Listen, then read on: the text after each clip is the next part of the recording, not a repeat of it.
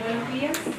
Siendo las 10, 3 minutos, se abre la sesión extraordinaria del Consejo Municipal citada para el día de hoy, martes 6 de noviembre de 2018, bajo la presidencia del concejal señor Francisco Duarte Díaz. Asisten los siguientes señores concejales. Señor Luis Díaz Espinosa, señora Sandra González Zamorano, señora Natalia Silva Herrera, señor Adriano Castillo Herrera, señora Marta Landeros Gallardo, señor Lorenzo Mora Morada, señor Marcos Marín Valencia. En calidad de invitados, funcionarios municipales y de corporaciones. Alcalde subrogante, señor Ricardo Alarcón, Alarcón. Directora de Asesoría Jurídica, señorita Miriam Molina. Directora de Control Subrogante, señora Verónica Oliva Figueroa. Director de Desarrollo Comunitario, señor Marek Burzaba. Director Ejecutivo de la Corporación Municipal del Deporte, señor Óscar Mendoza Salazar. Y Director de Servicios Traspasados, señor Juan Ávila Aguirre. Eh, también está presente el eh, administrador municipal subrogante, señor Manuel Carrasco Fauces. Tabla.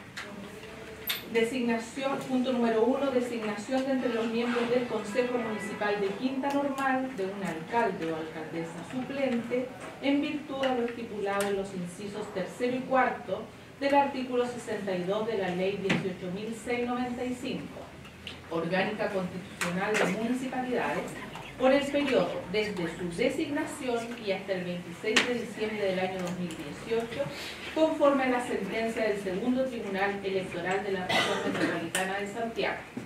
Punto número 2. Asunción y toma de juramento del alcalde o alcaldesa suplente.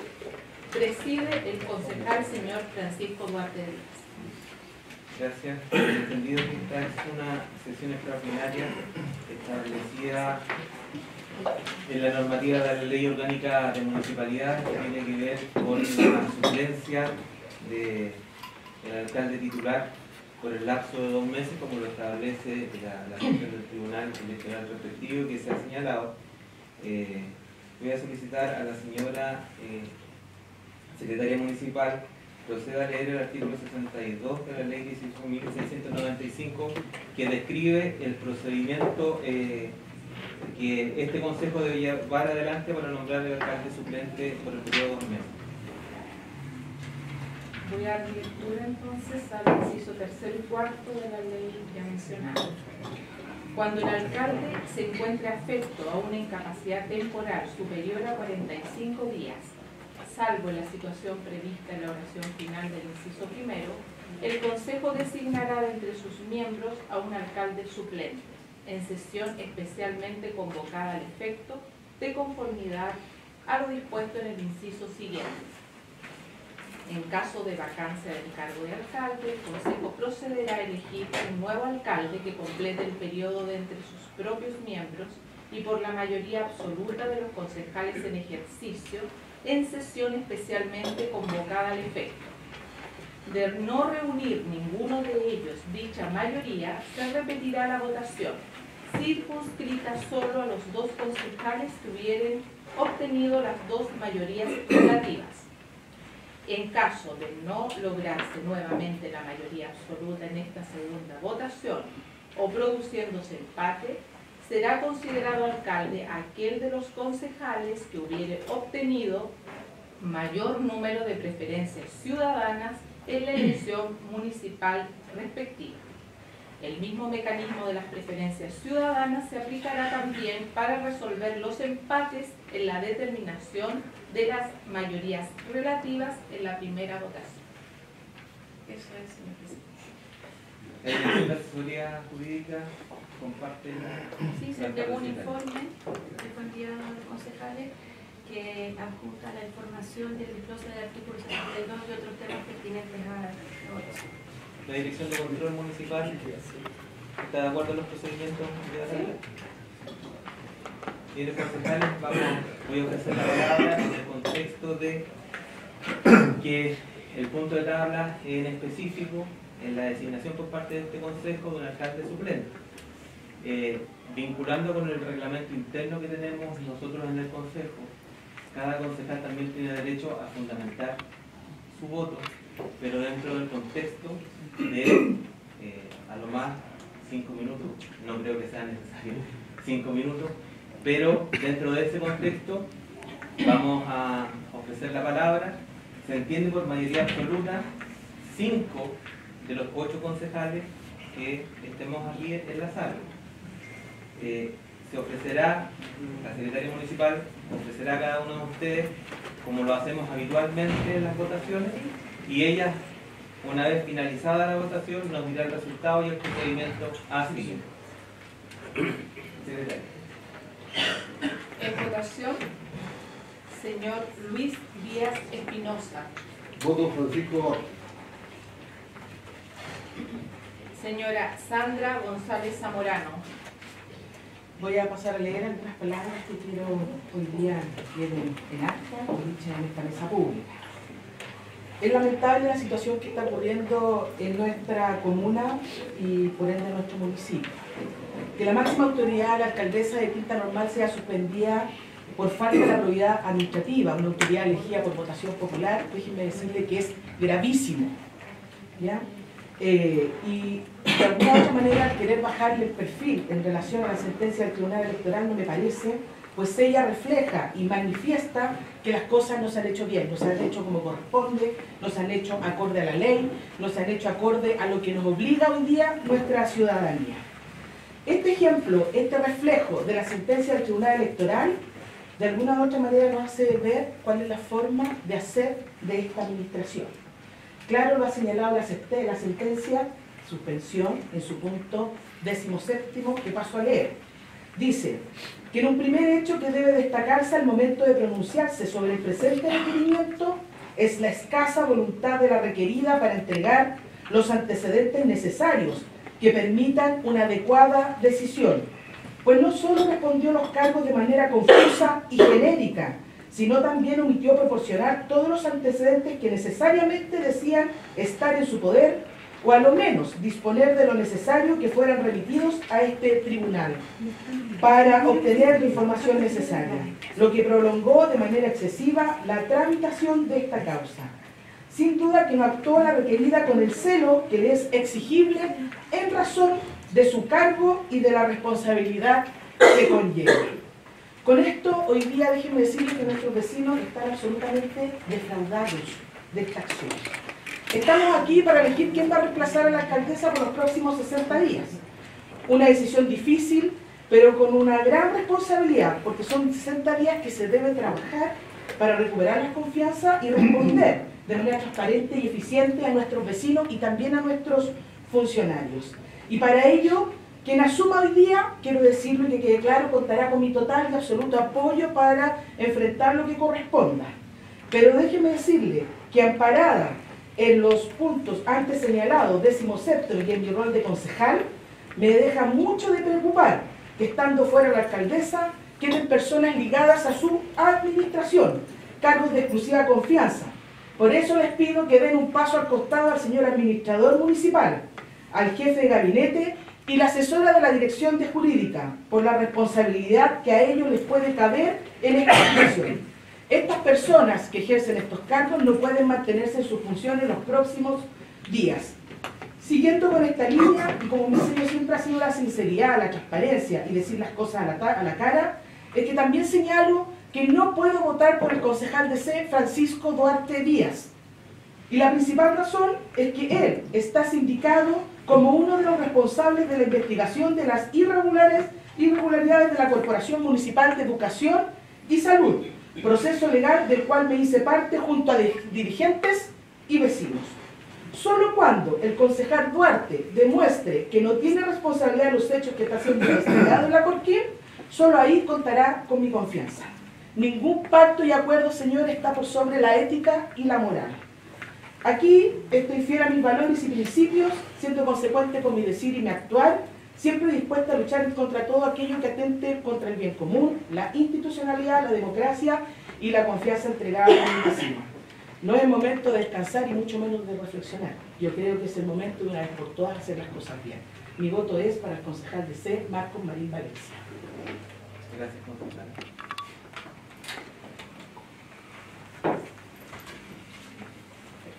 Señora Natalia Silva Herrera. Mi voto es para Julio Lorenzo Mora.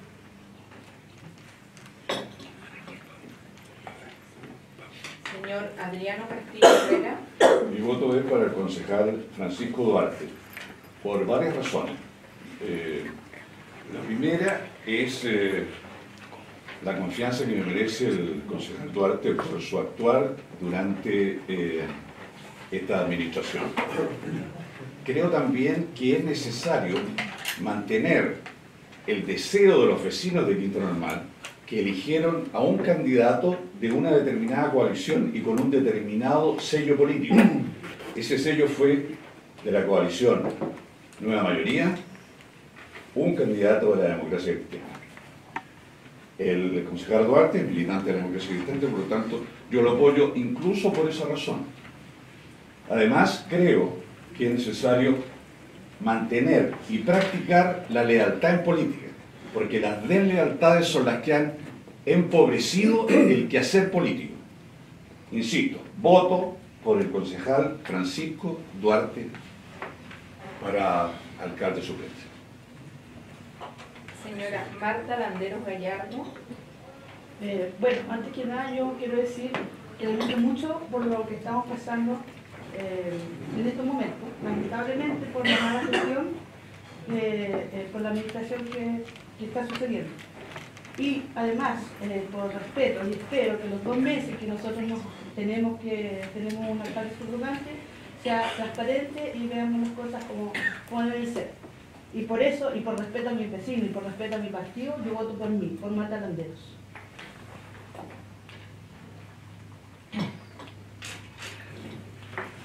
Señor Lorenzo Mora Moraga.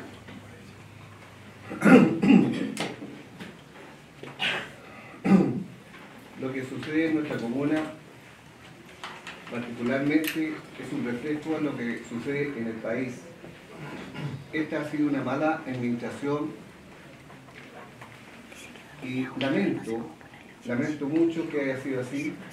La verdad las cosas que eh, aquí pasa lo mismo que la Cámara de Senadores, la Cámara de Diputados, pasa lo mismo en muchas comunas. La izquierda en nuestro país está repleta en la Cámara de Senadores y Diputados.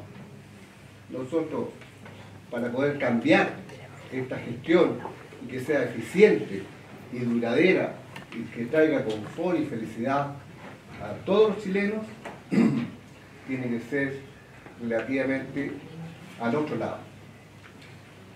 Quiero decirles que eh, la administración que ha tenido la alcaldesa y todos los que la siguen no ha sido la más correcta. Así lo dice el tribunal. Sin embargo, aquí es muy difícil porque son cinco contra tres. Evidentemente que las palabras de la Sandra González, nuestra concejala, eh, son elocuentes, sin embargo, sigue siendo una diferencia muy grande. Nosotros, la UDI y Renovación Nacional, somos dos partidos y tenemos tres votos. Sin embargo, como ustedes ven, nosotros aquí hemos tenido, eh, hemos tenido que superar, hemos conversado y pese a todas las diferencias que tenemos, no hemos llegado a comprenderlo. Entonces, yo le insisto que esto es solamente un reflejo de lo que sucede en nuestro país. Mi voto es para mí mismo, Lorenzo. Señor Marcos Marín Valencia. Gracias. Antes de emitir mi voto, si quiero referir a varias cosas que he escuchado en esta mesa con respecto a la administración de la señora Carmen Gloria. Para los presentes, lo que se pidió en haber votos fue la destitución de la alcaldesa.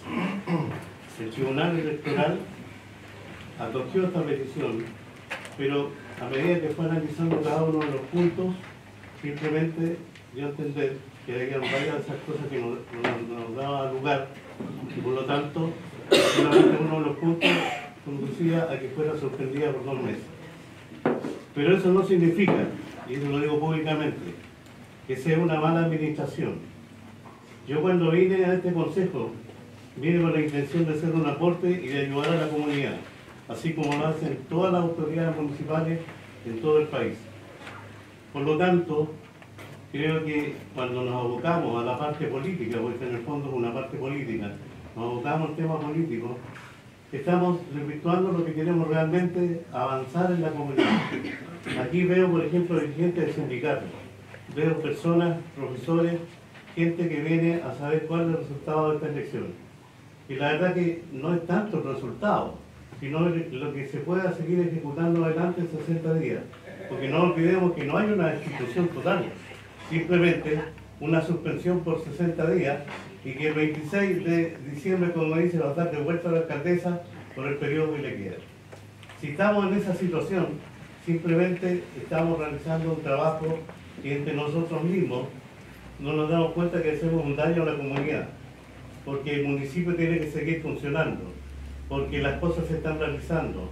Hay problemas en todas las municipalidades del país, todas las municipalidades tienen problemas, así como el problema que tiene Quintana Roo, lo tiene Pueblo, lo tienen todas las, municipalidades, menos las que tienen mayores ingresos por, por cada una de las comunas. Es por eso que en esta oportunidad, queridos amigos, vecinos y también queridos concejales, mi voto es para Francisco Duarte Díaz. Señor Francisco Duarte Díaz. En el entendido, respetando siempre las normas que, que nos rigen, debido a que estamos aquí para un alcalde suplente. Eh, me voy a repetir a eso, porque mañana tendremos consejos donde nos podemos explayar sobre otras otras temáticas y poder hacerme cargo de cosas que se han dicho aquí. Pero dejar claramente establecido que como concejal eh, que integra este consejo municipal no tengo impedimento legal ni ético ni moral para estar sentado aquí donde la ciudadanía me instaló y no tengo ningún impedimento si este consejo me propone y me nombra para suplir por 60 días de alcalde. La política del terror le hace daño a las comunidades. Estamos para corregir y para progresar. Juzgar y enrostrar a lo que llevan es a la enemistad, es a separarnos, es a no tener diálogo. La inocencia no se demuestra. El sistema legal chileno es todo lo contrario tiene una garantía de que yo y usted somos inocentes. Y si alguna persona quiere demostrarnos algo, tiene que demostrarlo. Y, y entiendo yo que contra mi persona nada hay. Por lo tanto, teniendo esa entereza, tanto legal, ética y moral, voto por Francisco Duarte. Resultado de la votación. Señor Francisco Duarte Díaz, cuatro votos. Señor Luis Díaz Espinosa, cero votos. Señora Sandra González Zamorano, cero votos. Señora Natalia Silva Herrera, cero votos. Señor Adriano Castilla Herrera, cero votos. Señora Marta Landeros Gallardo, un voto. Señor Lorenzo Mora Moraga, dos votos. Señor Marcos Marín Valencia, un voto en consideración a que ninguno de los señores concejales cuenta con mayoría absoluta, procederemos a una segunda votación entre los señores concejales que obtuvieron las dos mayorías relativas, a saber, señor Francisco Duarte Díaz, señor Lorenzo Mora Morán.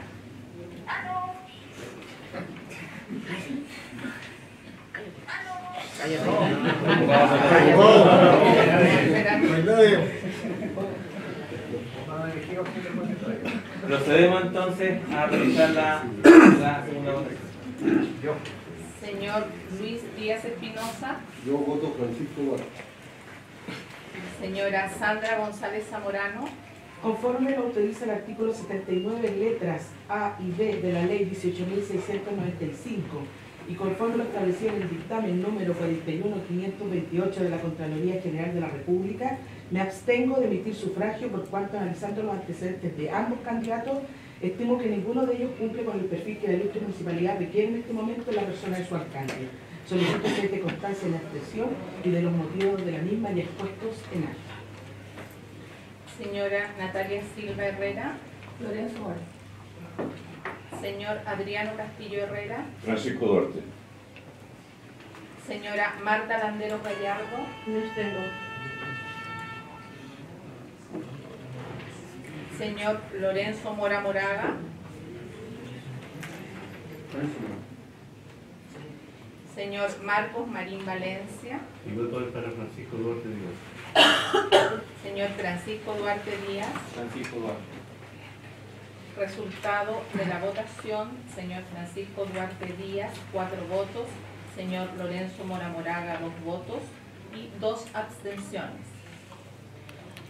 Dado que no se ha logrado mayoría absoluta en esta segunda votación, asume como alcalde suplente el señor Francisco Duarte Díaz, por ser el concejal que obtuvo mayor número de preferencias ciudadanas en la elección municipal de fecha 23 de octubre de 2016. Le solicitamos entonces al señor Francisco Duarte que pase eh, al asiento eh, que ocupa eh, la alcaldía para poder proceder a tomar votación. Perdón, juramento, que es el, el punto número 2 de la tabla.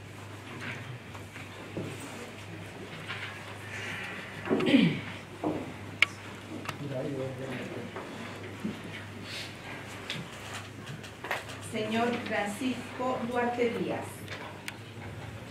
¿juráis o prometéis desempeñar fielmente el cargo de alcalde suplente de Quinta Normal y observar la Constitución, las leyes y los reglamentos en el desempeño de vuestras funciones? Sí, prometo. Si así lo hiciereis, que Dios y la comuna de Quinta Normal os lo reconozcan y si no, os lo demandan.